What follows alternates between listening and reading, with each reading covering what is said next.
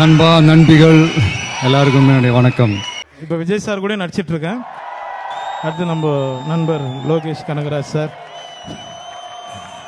அடுத்து பார்த்துருவோம் so guys video clip பார்த்துருப்பீங்க.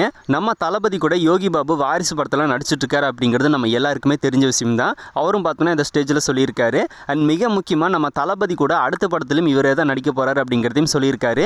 ஸோ இந்த படத்துலையும் அவர் இருக்கார் அப்படிங்கிறத யோகி பாபே சொல்லியிருக்காரு. அடுத்ததாக லோகேஷ் கனராஜோட சார் படத்துலையும் பண்ணிடல அப்படின்னு சொன்னதுக்கு லோகேஷும் பார்த்தோம்னா லைட்டாக தலையாட்டி இருக்காருன்னு தான் சொல்லணும். ஸோ இந்த படத்தில் யோகி பாபு இருக்கார் அப்படிங்கிறது இப்போ ஆஃபீஸில் கன்ஃபார்ம் ஆயிடுச்சு தளபதி யோகி பாபு காம்போ ஜாயின் பண்ணுறதை பற்றி ஸ்பெஷல் என்ன அப்படின்னா இவரை நம்ம தளபதி கூட ஒரு படத்தில் பண்ணுறாரு அப்படின்னா அது வந்து அஃபீஸில் அதுக்கு முன்னாடி இவரே நிறைய இடங்களை சொல்லிடுறாரு. அதே மாதிரி தான் இப்போ தளபதி அறுபத்தேழு படத்துலையும் யோகி பாபே அது ஓப்பனாக சொல்லிட்டாரு. இது வரைக்கும் யோகி பாபு வந்து லோகேஷோட டேரக்ஷனில் நடிச்சது கிடையாது. ஃபர்ஸ்ட் டைம் தளபதி அறுபத்தேழு படத்தில் ஜாயின் பண்ண போகிறாரு அது நம்ம தளபதி கூட அப்படிங்கும்போது இன்னும் ஸ்பெஷல் தான். ஸோ கண்டிப்பாக லோகேஷ் வந்து ஒரு காமெடி ஆக்டரை மட்டும் யூஸ் பண்ணாமல் ஏதாவது ஒரு இம்பார்ட்டன்ட் கேரக்டர் கொடுப்பாருன்னு சொல்லி எதிர்பார்க்கலாம். தளபதி யோகி பாபு காம்போ அப்படிங்கிறதே காமெடி சீனுக்கு சூப்பராகவே ஒர்க் அவுட் ஆகும். பட் பீஸ்ட் படத்தில் சுத்தமாக ஒர்க் அவுட் ஆகாமல் போனது எல்லா தளபதி ஃபேன்ஸ்க்கும் வருத்தம் தான். ஸோ இப்போ அதை வாரிசு படத்திலும் சரி தளபதி அறுபத்தேழு படத்திலும் சரி வம்சி அண்ட் லோகேஷ் கனராஜ் ரெண்டு பேரும் கரெக்டாக யூஸ் பண்ணுவாங்கன்னு எதிர்பார்க்கலாம்.